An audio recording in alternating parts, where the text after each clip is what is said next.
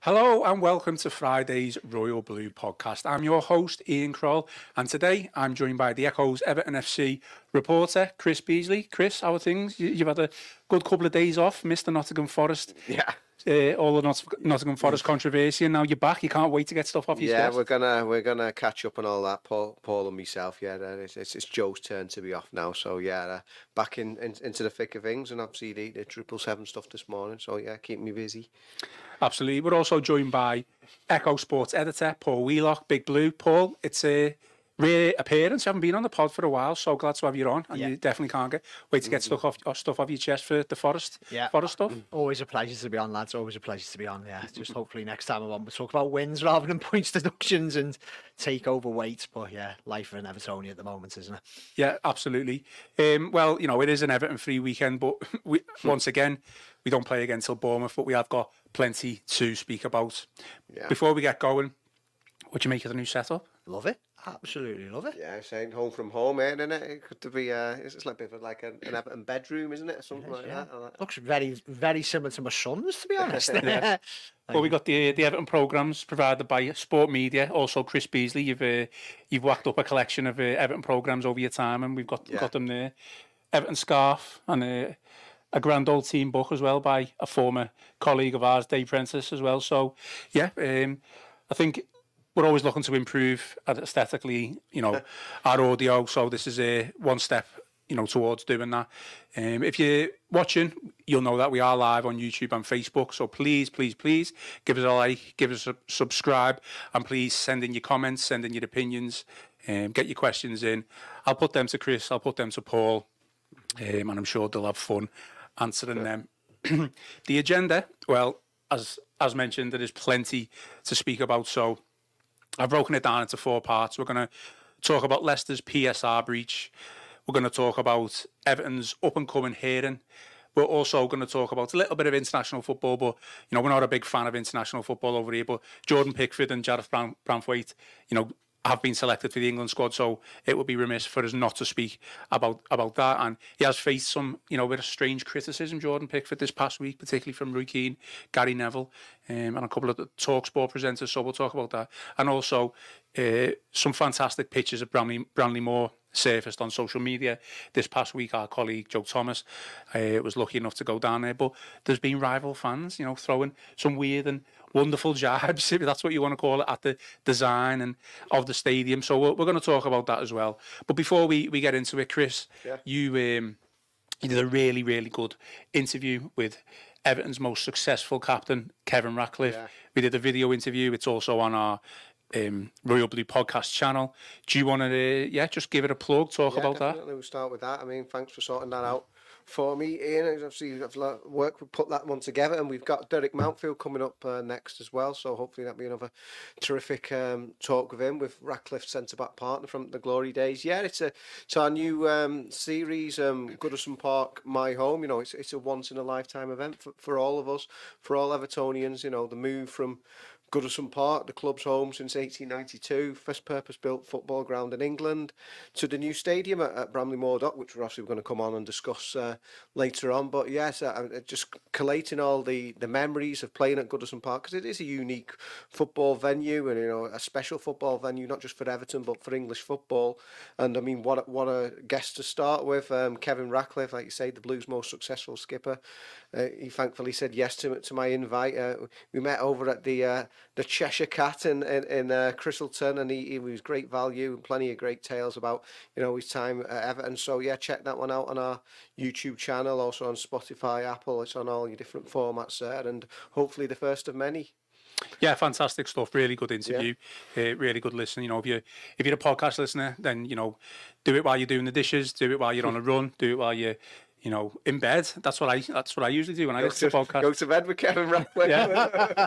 yeah, absolutely. Everton's most successful captain from that period of the 80s. So let's get to it then, Paul. I, I, I'll start with you and then I'll come on to Chris because um, obviously Chris's dinner's plug there. But Yeah. yeah, let's talk about the. Um, first of all, let's talk about the, the Nottingham Forest news. You know, we, me Joe and Gav spoke about it on Tuesday. It was a really well received podcast and we got some good feedback. So I just feel it's only right that we we talk about it with you guys who haven't had your say. What what what did you think when you saw the news that Forest had been deducted four points rather than the same as Everton six? Well, I, I think it was not. I wasn't surprised that they got deducted points because the last commission more or less said it in the on our appeal that they feel that for the punishment has to be points deduction. So that didn't come as a surprise. But given the fact that I think it was seventy seven percent more they they they breached PSR by yeah. the fact that they only got four to me was staggering. Like I, I think six was too large for Everton. I think four, three or four would have been, you know, a, a fairly agreeable. I say that to an extent. I think agreeable kind of penalty, and then I wouldn't have been too bothered that that Forest would have got the same. But it's just. I know it. It seems that they admitted the breach first. It seems that their mitigation seems to have gone down more in favour with that commission. But it, it, you can't get away from the fact that it seems to be such like an arbitrary process now that we could be getting different, you know, different different verdicts because it's a different panel. And I know the Premier League clubs and Everton being one of them, you know, agreed to this kind of system, but it just doesn't seem fair. And isn't this what it's supposed to be all about? Really, you know, I, I, I I'm not read completely through the report. I'm going to spend more of this weekend doing it, but I just don't know how Everton can have a 19.5 million pound breach and then Nottingham Forest nearly 40 million and they're getting less less points deducted. I know they were a championship club at at, at, at one point, but it's just it's just head scratching, isn't it? Really, like you know, yeah. what are Everton going to get now? What are Leicester going to get? Are they going to get it? You know, this season? It looks like next season now. It's just, to be honest, like for something that that affects Everton's future so it's such it's going to have such a big impact on our immediate and maybe long term future. I'm beginning to not get bored of it, but you just kind of look at it now and just go, I just don't know. It's just, it's just really, it's really hard to take kind of thing. I know it, it, it's such a shame what's happening to Premier League football, you know, at the moment. Because if there was hard and fast rules, you break it, you get a six point deduction. At least you know what you're dealing with. At the moment, I'm just having a clue. It, does feel like, if not making it up as it going along, no one, no one knows what's going to, what's going to happen. It's just so frustrating.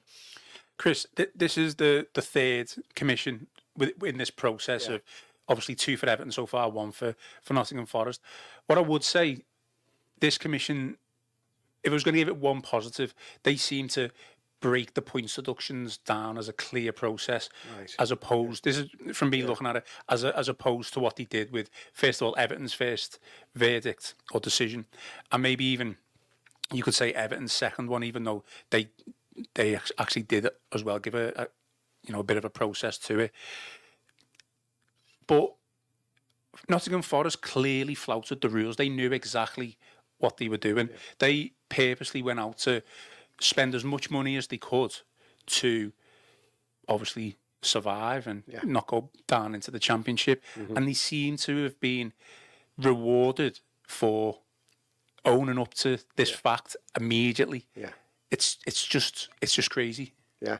It's just like you, know, you murder somebody and then go, ah, "It was me." Oh, yeah. you don't, don't, don't give me life imprisonment. No, yeah. Um, so as Paul has used this phrase that um, that everybody um, seems to be coming out with, um, it is like they're, they're making it up as they go along. Uh, the the the, uh, the main takeaways from it is, uh, as Paul said, a bigger breach, but a, a lesser points deduction. I mean, what the Forest Commission actually did do is that they, they referenced um, from the Everton appeal. I'm trying to keep up with this now. Yeah. Um, um, when they said that six points was required for a breach, but then the Forest Commission said they don't know where the Everton Appeal Commission got that from. So that's why you're getting different numbers, and hence they're making it up as they go along. I mean, obviously they're all very more than capable legal people handling this. Um, I certainly remember doing a piece on who was on the Everton appeal panel, and you know these were people with double firsts from Oxford and Cambridge, and highly esteemed people in the legal profession. But if you look at what, what they're coming up with, yeah, they, it, it's all it is totally arbitrary, and as you say, Paul, because there's no sort of set rules in there. People are sort of coming up with their own numbers all the time, and those numbers are changing whatever club it is, whichever commission it is, on any given day. Just um, seems to be just so arbitrary. That is the right root word, I think, because there, there isn't there isn't any sort of set rule, like you say. The the the um, Ian, the cases are very different. Um, Everton are in the bottom three for Premier League net spend for the past five years. Now there's a table. I've done an article on it myself. We all know about the money they've spent in the past. Farhad Moshiri, the owners, admitted to that himself when he said we've not always spent large amounts of money wisely. We know all about that, the profligate early years of Moshiri, but that the tap's been turned off in that respect. Everton have spent so little in the transfer market. So it's a totally different case in Forest, like you say, who got promoted for the first time in I think 23 years to the Premier League, and they spent a quarter of a billion pounds on over 40 new players. I mean, it's it's it's it's just blatant. If you, as an outsider, somebody who didn't know the ins and outs of each case, you could look at that and say, I can see where that's a big problem. They spent loads and loads of money on lots and lots of players, whereas Everton is much harder to sort of look at because you're certainly not playing it on spending it on the players, as Sean Dyche said. It's not made them on pitch powerful. So they seem very different cases, but as we said, they end up with totally different outcomes. And one which isn't favourable to Everton. Okay, Forest have gone into the bottom three now, but perhaps Everton should be further away from that position if they'd have had a lesser points deduction even after appeal, and, and obviously with Forest with, with their one.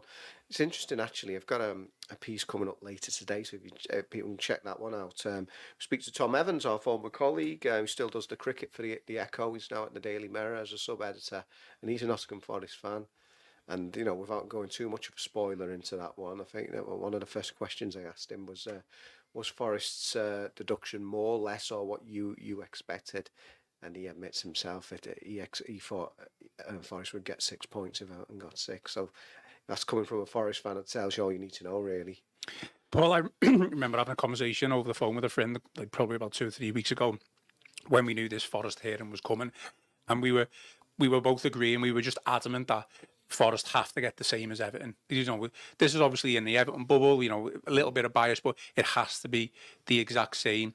And now the fact that it's not, have you know, the Premier League Independent Commission, have they not just shot themselves in the foot slightly? It's also damning as well on the Premier League the fact that they recommended 12 for Everton, as far as we're aware. They got hmm. 10. On appeal, it was reduced to six. Then, when it was the Forest hearing, we understood that the Premier League um, recommended eight. It was given as six but reduced to four because they owned up to it straight away.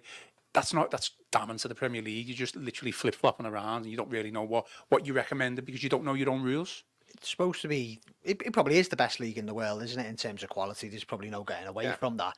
But like to be honest, it feels a bit tin pot. It like yeah. it feels like if this was a grassroots league going to the end of the season and you had yeah. promotion and relegation, I think if you were like a Saturday or Sunday team, you'd be pretty furious, wouldn't you? That you're going mm. into the last month of the season, you don't know if you're going to be promoted, relegated, or what have you. And let's face it, this could be the start of things to come, couldn't it? You know, there's you're already hearing about teams much higher up than Everton who you'd probably say were a lot lot better run and they may have to sell before the end of June the 30th because to make sure that they're compliant for this season.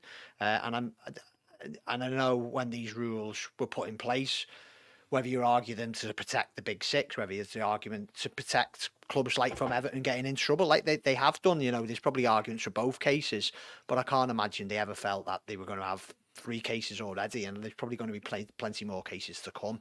Uh, it's it's just it's, it's just making a farce of it all, to be honest. And I, am not a legal expert, so I'm sure there will people who are put me put put me in my place really. But you'd think that that second Evan, the appeal, the, the kind of first Evan charge, but the appeal once they got to six, that'd be like a benchmark, wouldn't you, kind of thing? Yeah. Uh, and like now, the fact that Forest have got four, you just don't know. Like I know a lot will depend on with Everton second charge, just how how how big a breach we've got, and we're not aware of that. And if if the breach is big, we we could be banged to rights. But like whereas once I probably thought, oh, we might get one or two points. Now it's not a clue. Just just I've not I've not a clue really. And like it's I'm not I'm not they're not having that. That it's a good look for the Premier League. I just don't the powers that be. I can't imagine. I know Everton, Forest, they're not a Liverpool, they're not a they're not a Man United, they're not one of the kind of you know the big six. But I can't imagine how this is going down well. You know, in the mm. in in, in, in the power, you know, the, the corridors of power at the Premier League because it's it's terrible. It's it's terrible. You could go into the last game of the season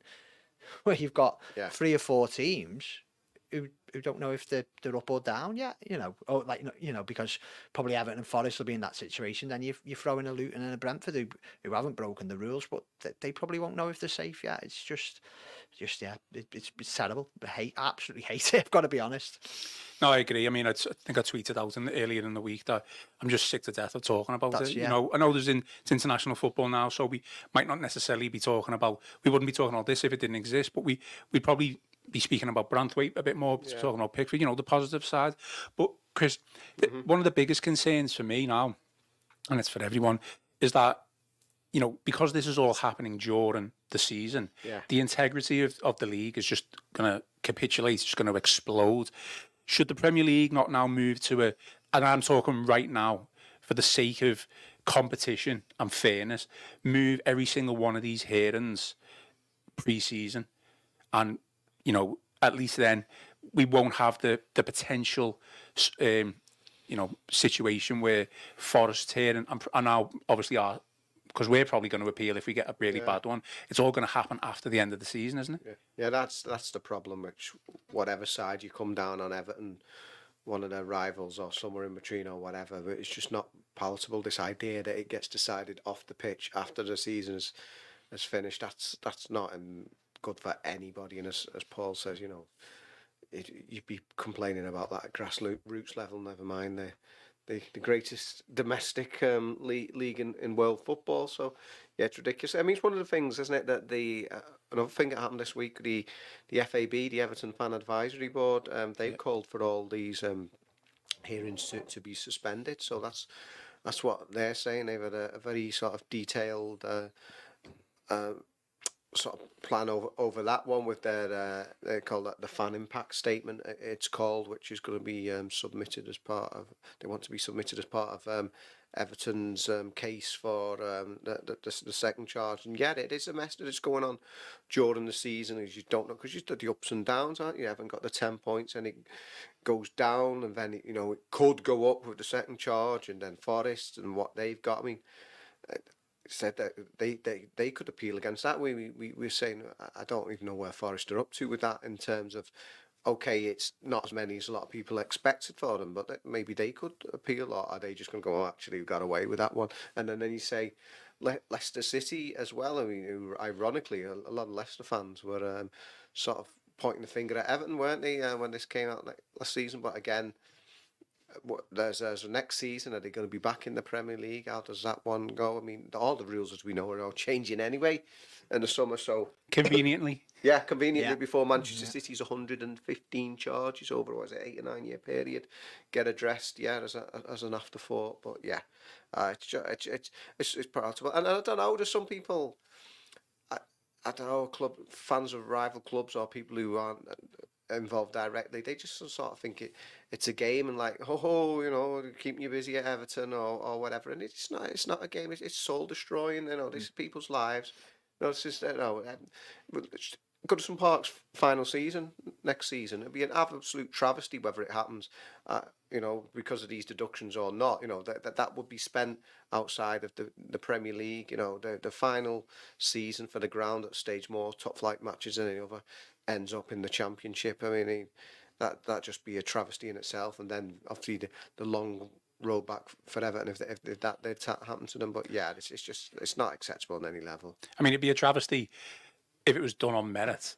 Yeah. I mean, because obviously you'd be very disappointed, you'd Yeah, be fuming. yeah. But the fact that we'd have, you know, out of our hands in in a way, you know, off the pitch, it would be it would be insane. Um, so just a reminder, we are live, we are interactive. So please get your questions in, get your uh, opinions in. We've got some coming in already, so I will uh, come to those if you're watching on Facebook, YouTube, please get them in. But Paul, let's come to you on this. So the news kind of broke last night. We knew it was coming, but you know Leicester have now been charged with breaching PSR rules, and you know Chris kind of touched upon it there already. Ironically, a team who were allegedly looking to sue Everton for breaching PSR rules, and you know obviously they were the, the you know the the wrong ends of it.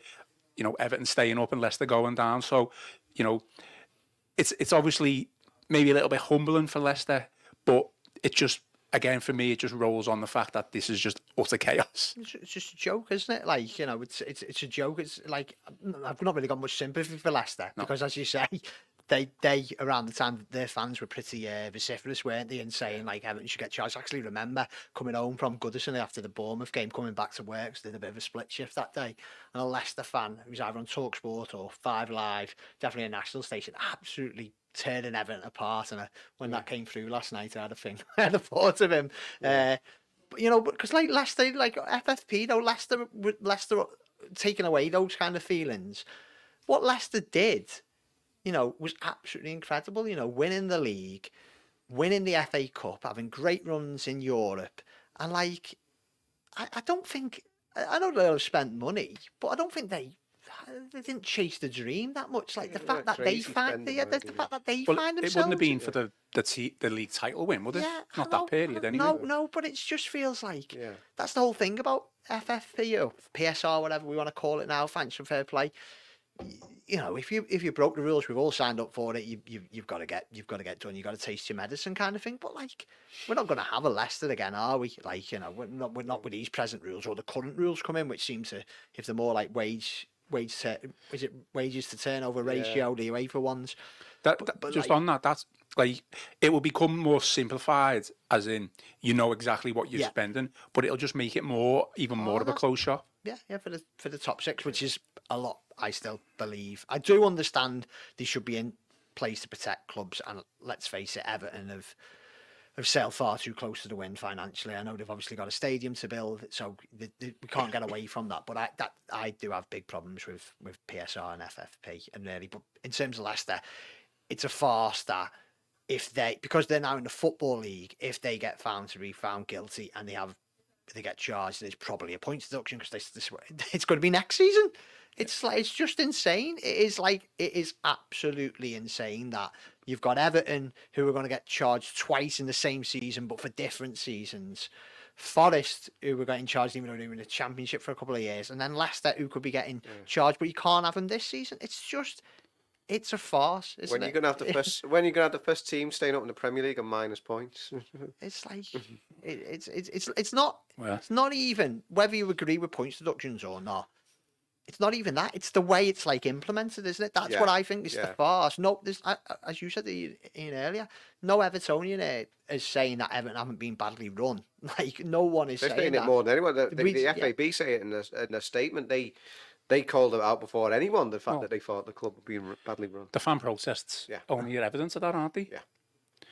You know, it's just it's just it's the, the process, isn't it? It's the process. But this whole thing, like, I mean, all rivalries apart and what Leicester said about Everton and whatever, um, uh, it was it, it was a fairy tale. It was it was good for football that uh, Leicester won the Premier League, that uh, Leicester won the FA Cup, and it's not like they were spending crazy money, like you say, Paul. I mean, what it's it's just like protecting those who've already got the, the most money and the greatest resources. Just a total close shot. Let's have the same cartel win year in and year out, and the rest of you you're not allowed to get to get involved because okay, you don't want clubs going to the wall. You know, teams like Bury who died and stuff like that. But that's not happening here. It just uh, it, it teams are being punished. Okay, they they the losses greater than they, they should have had, but they're not about to go to the wall necessarily.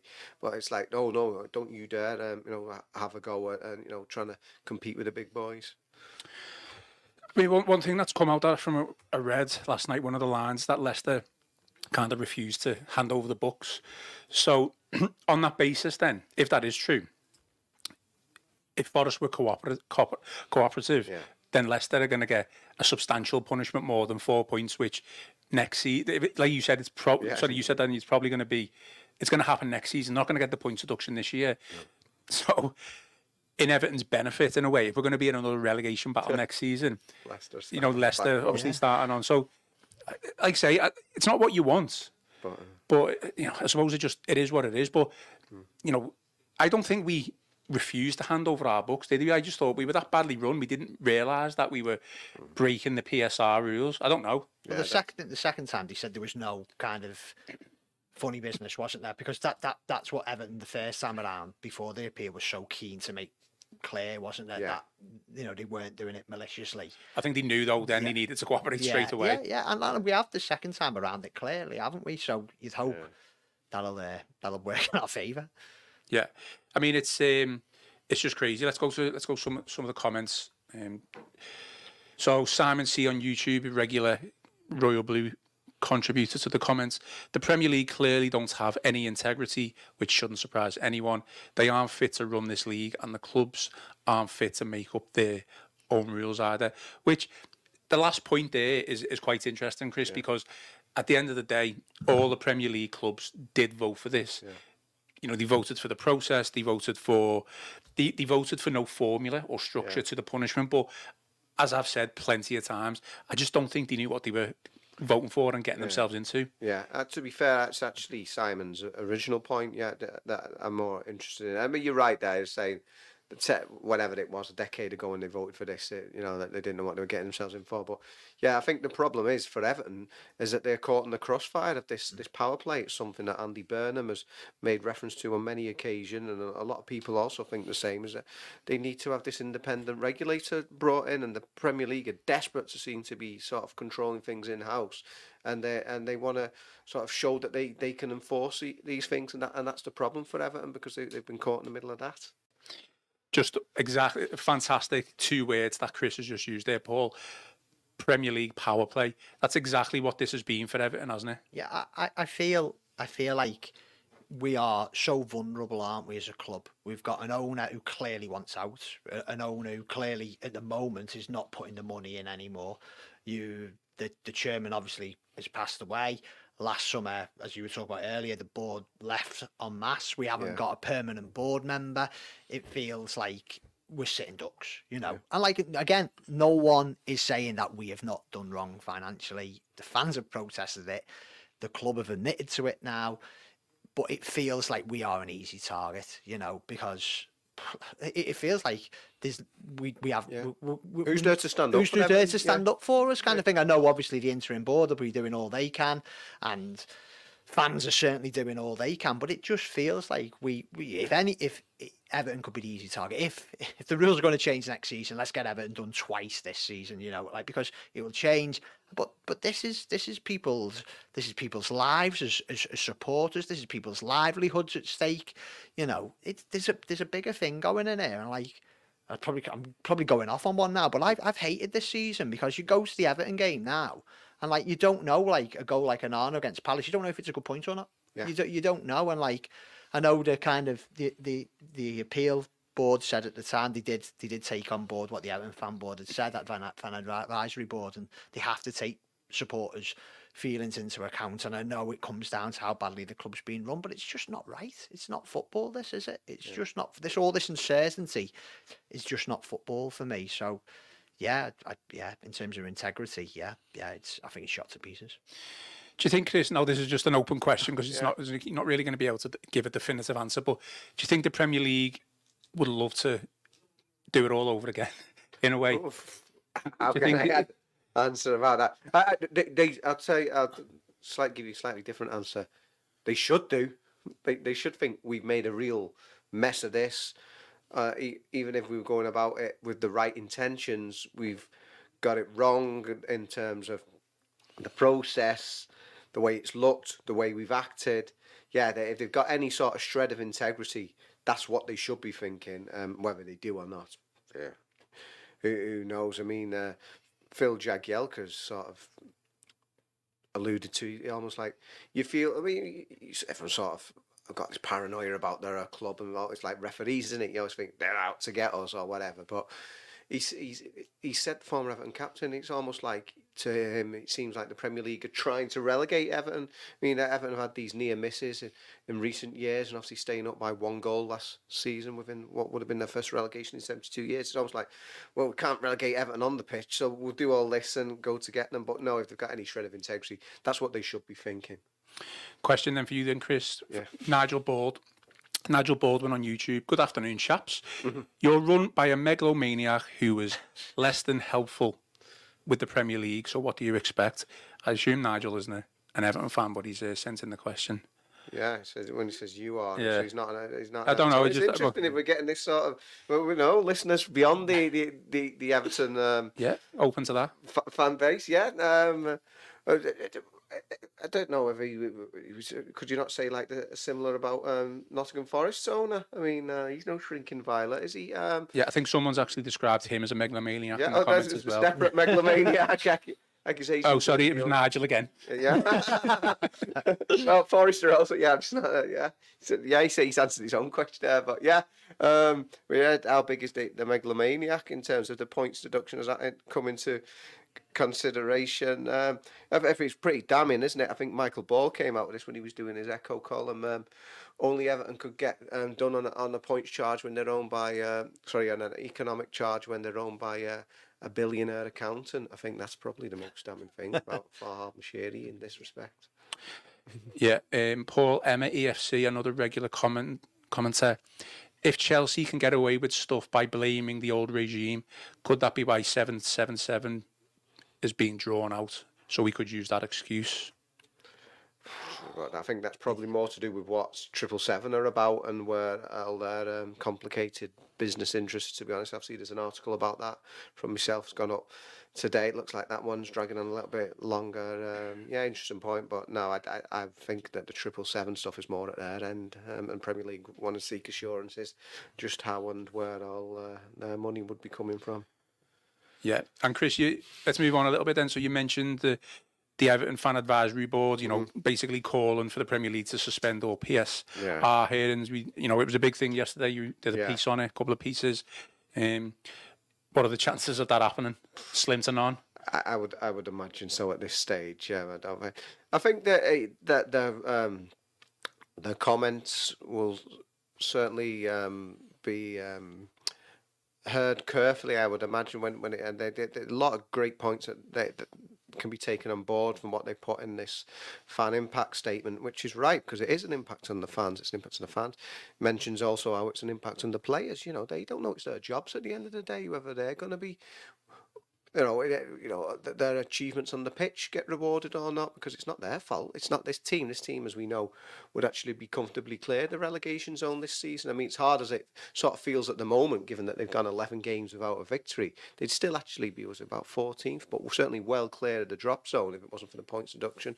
Also, the uh, the employees of the club as well. The many uh, um, um, sort of behind the scenes. I was talking to Paul before we went on air, and the closest comparison you've got is when Aston Villa went down in 2016, and I think 500 people lost their jobs then. So yeah, you know, if you if you go down because you're not good enough on the pitch, well, you know that's you know that's what football. That's the way football has to be. That's why we didn't want the European Super League and that close shop. You know, that's the organic nature of football. But you know, if you go down because of that, yeah. So this is what the livelihoods that they are messing with. So they make lots of really good points to fan advisory boards, but in terms of them um, actually suspending the. Uh, the hearings, I, I can't just see that one happening. But you know, they're, they're making a strong point, and it's been well made. Paul, I, I completely agree with the Everton fan advisory board's point. Um, and I think I did mention it earlier in the pod, just suggesting that for the integrity of the Premier League, all, all these PSR hearings just need to be moved to pre-season. So, you know, any points deductions from now, you know, flows over to the next season because, like you say, we've got the, you know, the baffling situation where the league's going to be sorted, but appeals are going to be heard. But do we just need to be a little bit careful not to annoy the Premier League a little bit more with statements like this as well? Like I say, I agree with. I think everything should be moved, but you know, coming out saying this is what you need to do with your business, we need, just need to be a little bit careful. Do you think?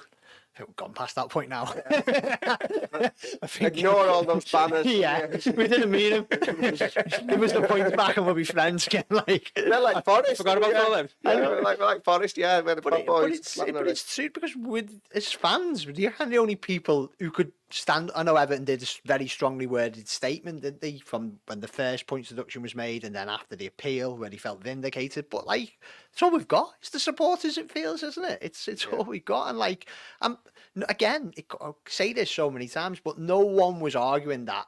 It, we hadn't broken the rules or hadn't been run badly, but you could see the widespread kind of anger over 10 points. It was absolutely scandalous, like scandalous. Nine points for administration. Yeah. You hit us with 10. Anyone, And Premier League wanted 12. they wanted 12. remember? Anyone who knows anyone involved with football, even I'm sure some rival supporters would have said, if not publicly, privately, that's too much kind of thing. So that's where the anger came from. Like, yeah, I, I agree. And like, it, it should be moved now because it's a farce. But my fear is that they'll get Everton sorted, they'll get the Forest sorted. Leicester, because of the regulations, because they're in the Football League now, they'll have to do it, and then the rules will change. And then the Premier League will try and forget this chapter ever hmm. existed. And as you say, it'd probably be easier for them if Everton were relegated, kind of thing. But the the the bad blood that would be felt and the bad publicity, certainly from this end, would be huge. But I, yeah, I agree with what the fan board said, but I just can't see them changing. I think they'll just try and get it all boxed off this season and then move on like it's never happened. Like, and you know, again, who knows what's going to happen with Man City and Chelsea? But hmm. you know, I, I think that's what they'd rather do. Do you think there is a danger then, and would you be surprised if this was the case that the Premier after the real changes? Because let's face it, they're going to push them through for next season as soon as possible. If the likes of Chelsea's, you know, points, um, you know, breaches, alleged breaches for Chelsea at the moment, isn't it? Uh, but we know City are being charged. Yeah. If all that was pushed underneath the carpet, would you be surprised with that? I can't. I can't. I can't. But can't, it can't happen. surely it? can't that happened. Like it, sit, we we had one charge, didn't we? First time round, Yeah. is it one again the second time around? Like, see, 115 charges. Like, I think a lot. Some of theirs, from what I've read, is it, it obviously is PSR, but it also it's it's different things, Yeah. isn't it as well? it, it, whatever happens, like even if we weren't Evertonians here, unless until that's sorted, Man City, it's it's it's complete joke the whole process, isn't it? Because I know it doesn't affect us as Evertonians because sadly we've not been battling Manchester City for titles and cups. You know, it, it, it probably impacts our neighbours, doesn't it? Really, and that's why they are so interested in it, and probably Arsenal are so interested. Brendan Rodgers retrospectively getting a Premier League. Yeah, I, I know, perhaps. but you, you, but until that's Yeah. taking away how we feel about it at the moment, because we're very much un, until Man City is sorted one way or the other, there can't be any kind of integrity, can they? Because like we've spent all this money to be terrible, and they've spent all this money to win. If it's found that they have, you know, they have they have breached the regulations, they've done it and they've they've won every trophy known to man, really. So it is. It, it doesn't really, from a selfish point of view, don't really care what happens to Man City because it's just that's me talking as someone whose club's in a relegation battle.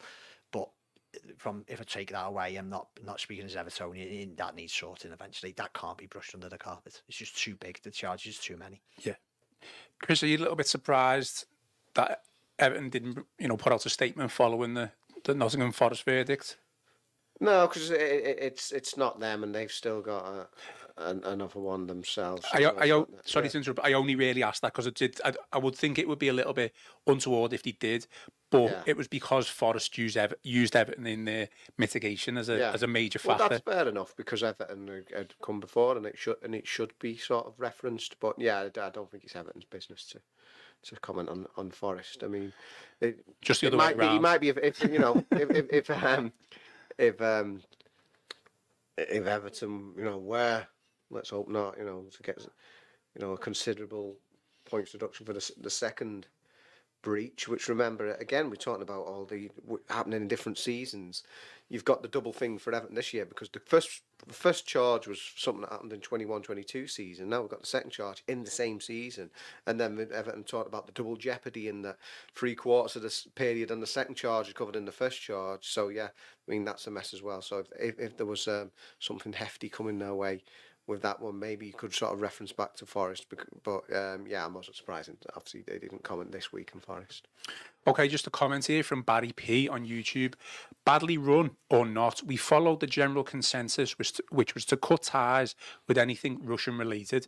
We lost a fortune in the process. It had a huge impact. So it's our understanding that in this process here, and that's going to feature heavily, isn't it? Yeah, the losses because of the, the war in the Ukraine, the Russia's invasion of Ukraine. Yeah, obviously, as we remember, the USM ties were cut. Mr. Moshiri cut his long-standing business ties with Mr. Usmanov, and then there was the whole business about the the, the two hundred million pound uh, deal that. Um, remained unsigned although uh, the, the club officials have actually said it's not like there was a piece of paper lying around that Mr. Moshiri just didn't put his signature to because I mean that was something that was alluded to In the in, in the appeal case. But um, yeah, I mean, and, and certainly in Everton's latest set of accounts, and uh, that's going to be uh, referenced. Obviously, the, the, the loss of revenue because of. Uh, the the the, um, the severing of the ties uh, with the Russian companies because of the, the war in the Ukraine. Yeah, Paul. Um, not really a question this, but the Blues, a regular commenter on our streams on YouTube, laughable for Forest fans to suggest they were totally cooperative. I mean, it just goes back to like, yeah, maybe you admitted it straight away, but you knew exactly what you were doing. And this, that kind of brings me on to, we talk about City and what they've done over the past, say, 10 years, probably knowing exactly what they were doing. But they've been able to live the dream effectively. They've won the trophies. They've they've built the infrastructure. They've got the revenue sources and streams in. So, okay, I don't know what's going to happen in the future, but say this is just speculating. If City are hit with like a ten point deduction, they're probably just think, so what? We've lived the dream. Yeah, even if you went down to League One as a City fan, been there before, You'll haven't come you? back up, you'll yeah, come- you come yeah, back up. that's what that you say. The key word there was the infrastructure because, like, when obviously it's a different case, but when Rangers were liquidated in Scottish football, we were talking about this, weren't we earlier, Paul, off off camera? But you know, it's, it's uh, you know because of City's infrastructure, because they've got it all there. The Etihad now, that amazing infrastructure they've got in place. Even if they were like sent down to League Two or the National League, they'd just come up in it. You know, uh, it was three or four years, they'd come straight back up, and then you could like carry on where you left off. Yeah, you Their fans would probably find it funny. Probably would. Probably would. They probably would because they've they've done. They've probably achieved things that they would never have imagined they could achieve. I know they were a successful club previously, weren't they? Before like the you know the Yeah, Premier they've always League been a big area. ki- always club, been a big club, Man City. But what they've achieved, Yeah. it's beyond the wildest dreams, Oh, isn't yeah, it? they were a basket case before they got the money, and the fact that yeah, yeah, like I said, it'd probably be like a laugh for them for a few years, go to a few new grounds, win loads of games, and then sort of start all over again. Whereas, yeah, Yeah, I mean, understandably, they'd probably lose a couple of couple of players. Yeah, but yeah. you'd expect even some of them because they'd still be on the same wage and under contract that City be able to sustain sustain that. Yeah. Maybe they wouldn't actually if they were at, like in League One and the and League uh, Championship with their rules. Erling Haaland scores two hundred goals in Get League Paul Two. Dick back, people like that, Shaun Goater. Saying, yeah, how many goals Haaland get in League Two? You literally wouldn't put it past the realms of possibility, though, would you? But like I say, they've lived the dream. On a tangent. Yeah. Uh, Simon C again with another um, with a not really a question, just a bit of an opinion. I think we've kind of touched upon this, but the Premier League are playing with the livelihood of people who rely on being employed by Yeah. football Yeah, clubs. you mentioned absolutely. that 500 people lost jobs at Aston Villa. It's utter, utter madness that they need, and they need to have a rethink of their current approach, which effectively they, they have, but it's going to be at the expense of now Everton, Nottingham Forest. Yeah, it's just the jeopardy of it all, isn't it? As Chris said rightly earlier, the, the sad reality is the, the success of a football team has an impact on the employees, the wider community. So if if if they were to get relegated, it's obviously a very worrying time, you know, for for us for us all. Uh, and but it, it's the fact that no one knows. No one knows if Everton are, are safe or how how many points. You know, you, you look at the fixture list now. We should be looking at in a way that go okay. How many points? Like four wins to it. It's impossible to know until until Yeah. the second hearing. The result of the second hearing is known, and then if if if Everton do get a points deduction, which let's face it, I'm pretty um as me personally, I imagine we will. Hopefully, we won't. Uh, the appeal process has got to be sped through so quickly because it's that would be horrific if you if the season's over and and you don't know whether you're up or down and like yeah from a fan's perspective that'd be terrible but yeah from if you work for the club you know or you're employed by someone who who, who, who is employed by the club you know it, it can't I, I, I has I hate all this process as it is but that would be that would be terrible it's it's got to be sorted before then Well, we're uh, 46 minutes in. So thanks for sticking with us on our live streams on Facebook and YouTube. But we're not done. Oh. We're sick of talking about PSR Let's and talk about some football. FFP. Let's talk a little bit about football and opinions about football, and rather than opinions about, you know, spreadsheets and financial fair play and everything else. So Gav on today. yeah, um, he's not on, is he? What is he doing? Did he, is he just busy? He type at an accountancy or his away with his good lady wife. That's what he tends to be He- doing. Actually, it's a Friday, isn't he? He's out on the Yale. Is that okay? yeah. Fair enough. don't blame him Okay, England play this Saturday and I think Tuesday. Big games. Um, well, big games, only friendly games, but nice to see Jordan Pickford called up again. England's number one. And nice to see Everton defender Jarrad Branthwaite getting his first call up, Paul. Um, but Pickford being given a bit of a backhanded compliment this week by, uh, well, certainly by Gary Neville, and he's had a little bit of criticism thrown at him. A strange criticism, really, from Gary Neville, basically saying that Pickford only raises his game for England matches. Have you seen that one? insane. Like just Gary Neville. I mean this. Like he has raised his game for Everton over the last couple of seasons to keep us in in the Premier League. You know, think back to that Chelsea game. Like that's a goalkeeper certainly raising his game when we we won one 0 He was absolutely astonishing that day. I listen. Is is Jordan Pickford probably one of the best goalkeepers in the world? Maybe not, but he's probably not a million miles from that kind of level because he's the England number one. And like, I'm not a huge England fan, but my sons obviously love football. They love football, so they're going to watch England in major tournaments. And I've watched every kind of, I probably would anyway, you know, because it's Jordan Pickford. But he's been absolutely, he's been fantastic for England. I, I, I can probably count on one hand. I think there was one Nations League game against Spain where he, he, he lost his cool a little bit, gave a penalty away, and had a, a, a bit of a mad moment. He's been absolutely brilliant for England, an England team that I've got to a World Cup semi-finals, a European Championship final, and are one of the favourites to win the, the Euros this summer. Like, you know, I can't. If there's some, if they Gary Neville knows more about football than I will ever know, Mm-hmm. but if he if he thinks there's another English keeper who's better than than Jordan Pickford, just I'd like I'd like to know really because I think Aaron Ramsdale is a is a good goalkeeper, but Mikel Arteta doesn't deem him good enough to play uh, in the Premier League or in the Champions League. And when he was brought back in the other week against Brentford, he made a terrible error, and I was really happy for him that he made some good saves after that because I can imagine psychologically it must have been really tough for Ramsdale this season. Uh, but there's there's not a better English goalkeeper, and I, I don't think there's many better goalkeepers in, in the Premier League. Full stop. To be honest, you know, maybe two or three at best. Like I just, I, I just don't get it. I don't, I don't, I just don't get the criticism of, of Pickford. Certainly at England. Chris, it always seems to be a, an easy topic of conversation from pundits to to criticise or bring question Pickford's number one slot. Certainly when England come around, so uh, you know. th- There's no question now that he, he is England's number one, and anyone who brings that topic of conversation up is just looking for just clicks, in my opinion. Yeah, yeah, de- definitely for that. He's- certainly number one. I'd say I'd sort of concur with what Paul said. I think he's the best non-Brazilian goalkeeper in the Premier League. I mean, obviously you got Ederson and then Alisson across the park. Other than that, I think Pickford's best one. Um, for England, he certainly is. Um, there's nobody close. I mean, whenever he's his understudies have had a goal for England, whether it be Nick Pope or as you mentioned, Aaron Ramsdale, as you say, isn't even Arsenal number one now. They've made a hash of it. Pickford's pr- pr- proven on the big stage. He's Everton's most capped England player now. He could reach um, 60 caps, I believe, if he plays both these internationals this week.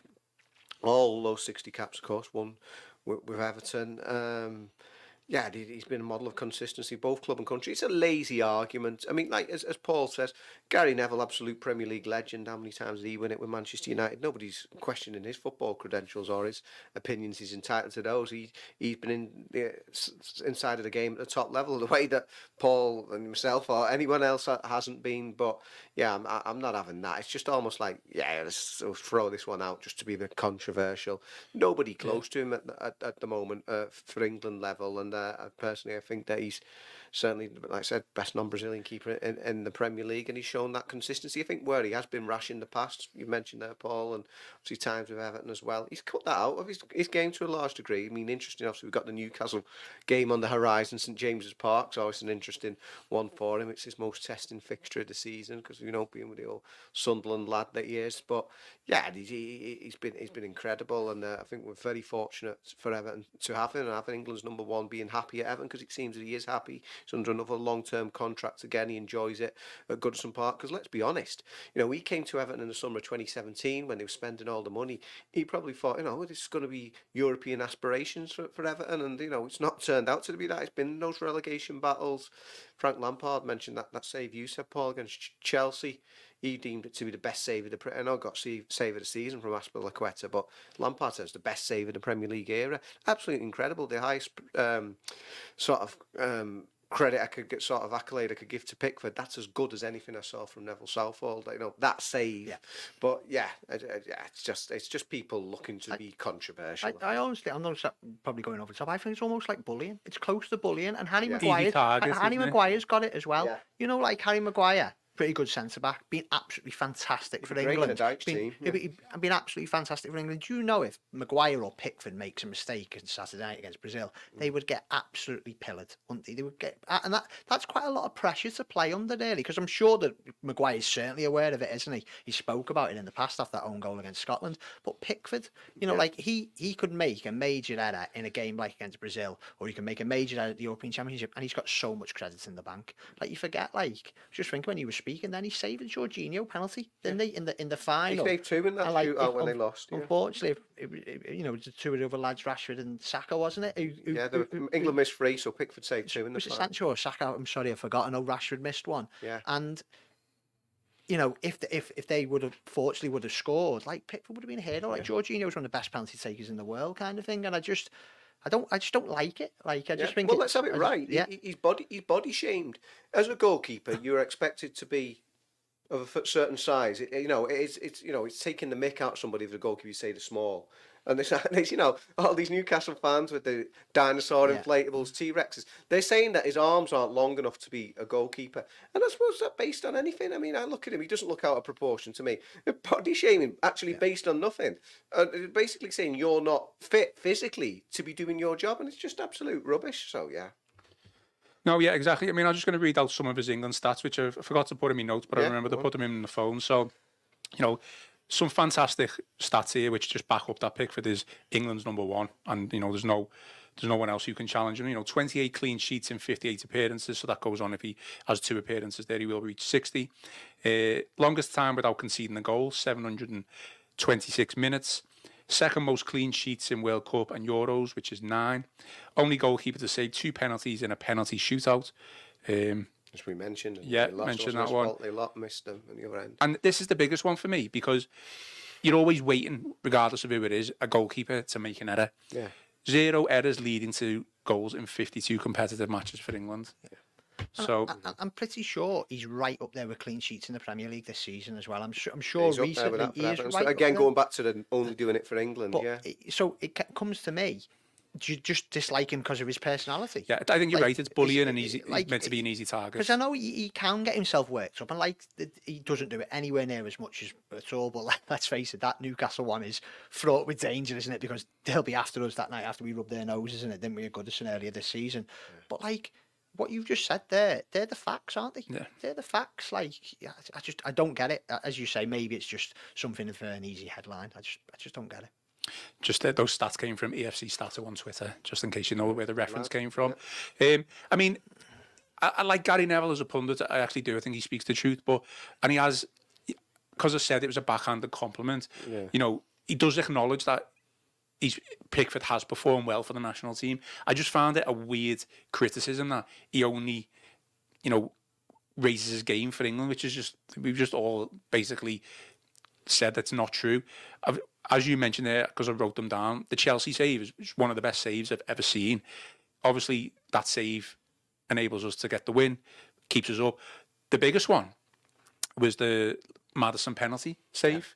Which wasn't even a good one. He just held his net. didn't he? He's- he's still- in terms of importance, it's probably the Kept most us up. important. Yeah, But it's not like Maddison missed it. Pickford saved it. Without that, we go down. yeah, because I was at that game. Would they have gone three-one up Leicester or something with that one? yeah. And it obviously be two more points for Leicester, one more Yeah. less for Everton.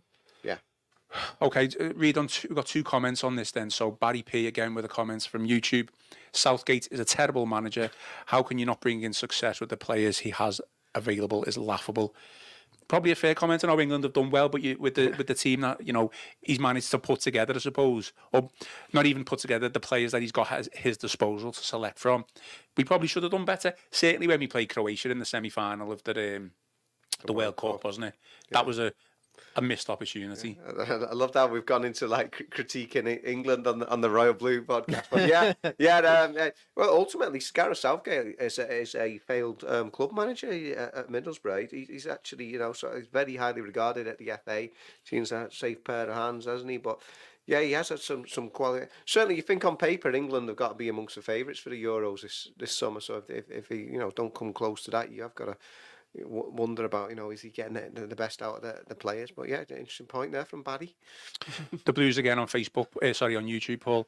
Seriously, what is coming? What is it coming to when someone so experienced in football is coming out with nonsense like that? It's like, it's like I It's said. not about Gary Neville. Gary Neville, yeah, sorry, yeah, not us. not you, not you, not you. Didn't Um, agree with our Southgate points. yeah, sorry about that. Yeah, like I said, I, I actually like Gary Neville as a pundit, but it's just a bit of a strange one, and I thought, well, thought I'd bring it up. But Yeah. yeah, Agreed. Yeah, yeah really, really like Gary Neville, but like as you say, I, I if there's a better English goalkeeper, uh, and and we and with the greatest respect in the world to Gary Neville or any other pundit, we see Pickford every week, and he definitely raises his game for Everton. Definitely. Just final question on this point then. Simon C again with a question on YouTube. Eight clean sheets for Pickford this season. Only Raya has more with nine, and that There you just go, and that's in a struggling Everton team, Yeah. bottom half the table. imagine if we were able to score goals. Yeah. Where we'd Yeah, be. well, exactly, exactly. Okay, well, the final segment of the podcast then, I want to talk about Bramley Moore, the new stadium. Everyone's excited for it, but rival fans on social media have been having a dig at Everton's new stadium. um, They're Paul, not helping us dig it. No. no, you know, a bit of a jab. Um, yeah, it's come under scrutiny a little bit, just mainly on social media. I don't think it's any Really. any pundits, but you know, rival fans basically suggesting it's got a perceived lack of character due to its bowl-like design. What what have you made of the, you know, I'll the go first. Paul. Oh, it's mad, isn't it? Life is mad at the moment, isn't it? Like, yeah, it's je- jealousy, bit of jealousy? I? Uh, yeah, I, I, I've I've been past it, drove past it a number of times. Kind of when I've gone into town, drove home to have a look at how it's going. Chris, I know you've been inside it. Yeah. Joe, uh, Joe's been inside it last week, wasn't it? This Is- this, mo- it was only on Monday. on yeah, Monday, yeah, hard on on. I thought it was a bit of a Village And People then- reboot. Reboot, to be honest, with his hard hat. Then Mice has been on Twitter, hasn't he? Kind of like responding to one of the, the, the, one of the kind of people who critics kind of saying, "Believe you me, it's going to have an incredible atmosphere." Yeah, it, it, it looks spectacular, doesn't it? I'll I'll trust the people who've designed it. I'll trust the people who have been inside it, kind of thing. Uh, y- what we wanted it. We, I think the big thing was what people wanted it to be similar to Goodison, where it, it's as close to the pitch as possible compared to say even like an Emirates and certainly like the uh, the Olympic Stadium where West Ham played the London Stadium. Uh, so if it makes it look more like a bowl for people who are never going to go in there, maybe apart from once or twice as an away supporter, and the atmosphere is absolutely fantastic and it looks absolutely fantastic. I'm I'm absolutely fine with it. Like you know, uh, yeah, it's just very very today kind of argument, isn't it? Where it goes onto social media and everyone piles on it, kind of thing. You know, all the pictures we see from Colin, our photographer, or any that the club release like they've done this week, it certainly doesn't look standardised to me. It looks pretty unique. I'm, I'm wound up for this one. Do you want to ask me a question? Do you wanna just go into it? Just go, mate. You go into it. Go it, Just go for it. Yeah, go on. Yeah. yeah. Um, uh, let's see. Yeah, I've got myself so wound up now. I'm not even know where I'm going to start. Yeah, it's absolutely uh, ridiculous that uh, the, these criticisms. It, it's it's not a bowl. It's certainly not a bowl. The the, the designers, the, the technical people use that phrase because it's just what you know, um, in sort of architectural circles. But you know, it, it's not a bowl. It's got. That's one of the great things about it. It is steep. It is intimate in a way that a sort of an older new generation stadium like the Emirates Stadium at Arsenal is not. And you've got to think what Everton could have had um, r- rather than this. Um, they might have had the other, obviously, great waterside dream, which was King's Dock, which was over 20 years ago now. So that probably would have been more similar to Arsenal's stadium. It would have been great. It would have been on the waterfront. Um, but it would be quite generic for what we, we see as the sort of contemporary standards now and uh, wouldn't be as football friendly, like saying, sort of recreating that intimacy of Goodison Park within a, a modern setting with no pillars, giving you obstructive views, getting the best of both worlds with this one. Um, it's tight the way that Tottenham Hotspur's stadium is. I've been there a few times now. Best stadium this side of the Atlantic Ocean, Tottenham Hotspur's. But Goodison will be sorry, I'm saying Goodison. Everton's new stadium will be better because of where it is. It won't be as plush as Tottenham's. I think Dan Meis himself, the architect, says designing was it a, a Ferrari rather than a Bentley. It's going to be um, sort of um, it, it's being built for. To, for performance, for, for to create that sort of acoustics and that intimate atmosphere the way that Goodison has. Yeah, they, they've got Everton's version of the yellow wall at Dortmund there, the big single tier of the south stand. It's been a while since I was there now. I, I was due to go on that trip this week, but I was off, so Joe took my place. But I've been looking forward to when I do get the next chance to go in there. But even back there, when I went about 15 months ago, went right up to the top of that south stand, and yeah, it's it's it's it's, incre- it's incredible. So what could Everton have had? They could have had that other one on the waterfront at King's Dock. That never happened, or they could have ended up, which I thought would have been absolutely terrible, out in Kirkby. You know, I, I think in somewhere, you know, Liverpool is probably the most sort of micro geographical obsessed place in the world in terms of you don't live in our street, well, whatever. Um, so yeah, but Ever, I just think it would have been a losing PR battle for Everton to go outside the, the, the city boundaries.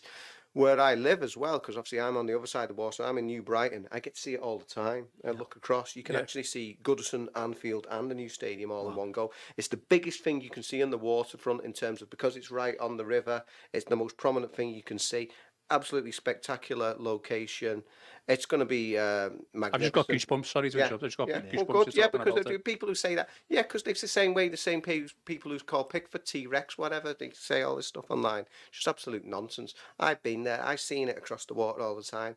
It, it, it's going to be magnificent. It's the only good thing really about Everton, unfortunately, at the moment is the new stadium, and that's the great tragedy of it all at the moment. It's because as Evertonians, you should be enjoying this period. You should be looking forward, you know, wistfully to the last season at Goodison Park and all that that brings, and then the move to the new stadium. But instead, you know, obviously, you've been hampered by all that points deduction talk and all the nonsense we've just spent the first forty-five minutes discussing here. But yeah, it's it's absolutely brilliant. The only thing which I would say, and a lot of people agree me on this one, is that in, in an era now where capacities have gone up.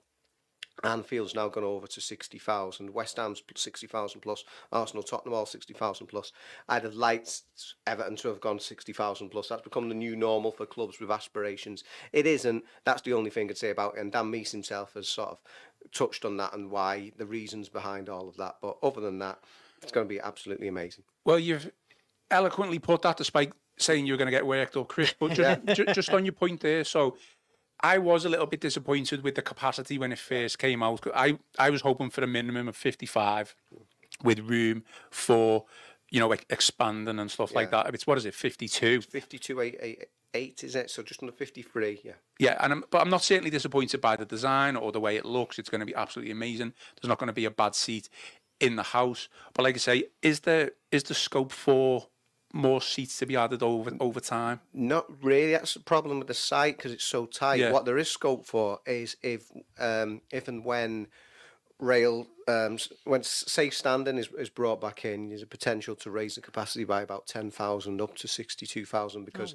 rather than having one person per space, I think it goes up to one and a half. So if you had those safe standing areas, it can go up to about sixty-two thousand. But I think it'd be quite difficult to actually expand o- on the site, and that was a difficulty. But if you flip that around, if Everton are filling out the new stadium at Bramley Moore Dock every week, they will still be playing in front of their biggest crowds in their entire history. Everton have only ever had one season in their entire history where they had an average gate of over 50,000, and it's when they won the league in 62 63. So they'll be playing in front of the biggest crowds in the club's history, but just the way that football's gone so popular now, and we believe, I got told by the club, there's, there's 30,000 people on the, uh, Yeah. on, the, on, the, on the waiting list now. They might not all when it comes to the crunch actually get that ticket just because they're on the waiting list. But given that, you know, I'd like to have seen that, um, you know, it, it go bigger. So it, it would be difficult, but I mean, you can't have everything. And I just, you know, this has been going on since I, I was like 16 years old. I remember you're similar age to me, Paul. You know, in, in the mid 90s, with Peter Johnson was the first to sort of moot new stadium seriously. Again, plans for what would have at the time been the biggest ground in the Premier League because Old Trafford was much smaller back then. And the only thing was he never said where it was going to be, whether it was going to be at Kirkby or Cronton Yeah. or anything. Yeah, but yeah, was- yeah. yeah, so yeah, um, it, it, that's the one good thing. I mean, for all the, the bad things, and unfortunately, the, the, the negatives outweigh the positives. Certainly with Farhad Moshiri and this regime, the one thing he has done is delivered on on the stadium. Certainly to extent, okay, seven seven have been sort of footing the bills uh, of late, but yeah, the fact that they give they get this stadium over the line, which obviously they, they will do now by hook or by crook. That, that's that's the one big positive that Everton have got is that stadium. No, absolutely, and I think you you are right in that there is limited space. I just at the time you know, I think because I think Kings Dock was like 55, 60 capacity, wasn't it? You know, I I think that would have been fine because, like you said, you've got so many fans on the waiting list. I think the first season or two, people are just going to want to get that season ticket if it's available, regardless of like how Everton were playing. Obviously, if we're in the championship, it might be a bit questionable. But saying like 20 years' time, if something happens and Everton just kind of propel themselves up and we just get an even more bigger fan base, and then we were looking at like, well, we should have had a 70,000 seater, hmm. 80,000. I'm not saying we should have got that then, but there should have, there maybe should have been scope. But like again, we, we are limited. But Paul, I mean, we know that this, this this stadium has been designed specifically for atmosphere. That's the be all and end all. That. Like I say, there's not going to be a bad seat in the house. And I've seen like weird obviously from the haters, weird criticism of it. It looks like a Bundesliga stadium, and saying it does look like a bowl, and I don't think it does. Certainly not from the outside. But what, what's wrong with the bowl anyway? I, I like a bit of symmetry. yeah, look, no, not at all. Look at Anfield Stadium now; they're just literally just trying to get as many people in there as possible, and it just looks. I think it just looks terrible. Yeah. But yeah, just, sorry. The question then, like, it's it's designed for atmosphere, and that's what you know can you imagine the first game under the lights at, good, uh, at Bramley Moore? Sorry, yeah, slipped the tongue. Me now, yeah. it, it's it is what kind of keeps you. I, I'm probably one of those people who's kind of a bit of a cynic, who's like, I'll believe it when I'm sat there. And like, but now you can see it's Yeah, got, it's going to happen, don't you? Uh, and it is just a shame with what's happening off the field at the moment that doesn't allow you to to build up the excitement. You know, for it doesn't feel like it's the last season next year, does it? Because it's it- got it- so much going so yeah. much to get to. You know, Yeah. before we get there, and, and and that's that's all. You just really hope we stay up this season. You know, somehow with another point deduction, stay up, and then off the field. It's sorted. I know we're not going to go on to this podcast now, but who owns the club? Because that's another podcast itself. But who owns the club? And we start next season with a clearer idea of what what's going to happen in, in, in the last year at Goodison, because that would be a, a crying shame if we're doing podcasts like this again, you know, in, in, in 12 months' time kind of thing. But no, it just looks it looks spectacular. It's it's our future, isn't it? It just it, it doesn't look like you know, people were throwing, oh, it just looks like Leicester's, it just looks like Derby's and stuff like that. It, it, it just doesn't. It's just, it's, it's just, I promise you, I'm, we're not lying here. It doesn't. You like, if you, if you get to drive, I say, lucky people who've been so far to what's inside, I'll trust what you the guys are saying. But just from the outside, it looks spectacular, doesn't it? It looks, it looks so good. Yeah, I can't wait. Well, we, we've gone long. We've gone nine minutes into injury time. But Chris, I just want I want you to have the final word. So you've written a piece today on Everton's takeover. Yeah. You know, there's I've read the piece myself, and there's a hint that no decision is not going to be made until after Everton's second hearing, or at least maybe even until a verdict's delivered on that. Yeah, that's what uh, seems to be coming from the, the triple seven sources. Obviously, there's the the um, the hearing next week, so it all seems to be that um, the wait will go on into uh, an eighth month and potentially in, into April there. And considering that the at the time when the deal was announced in September, they were hoping for the fourth quarter of 2023. Um, yeah, um, it, it has dra- it has dragged on, but yeah, the, the wait continues. Okay, well, we will finish off there, uh, lads. If people want to send you hate or positive feedback, where can they find you on Twitter? At Paul Wheelock, capital P, capital W, all, all one word. Where At can C they- Beesley Echo. What was that? At C Beesley Echo. C Beesley Echo, and I am at Ian Croll one. So yeah, send your feedback. Your feedback is really important to us. So let us know what you thought of today. Um, continue to leave comments after this live is finished in the YouTube uh, space, in the Facebook sp- Facebook space, and also mentioned at the start we've got a new setup. Um, just let us know feedback. Plenty of Everton, you know, merchandise, memorabilia, if that's, if that's what you want to call it. Let us know what you think. We're always looking to uh, improve our setup, always looking to improve our audio. Uh, also, leave us a, a like and subscribe to the Royal Blue YouTube channel and follow us on Facebook. That's Everton FC, Liverpool Echo. Before we go, anything else to speak about?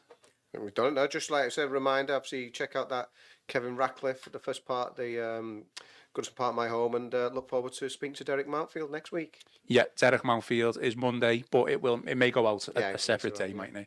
Okay, well, thank you for leaving your comments. Like I say, continue to do so, and I'll try and answer them on my own YouTube channel. Um, and reply back to them. Sorry. So yeah, I've been Ian Croll. I've been joined by Paul Wheelock and Chris Beesley, and this has been the Royal Blue Podcast.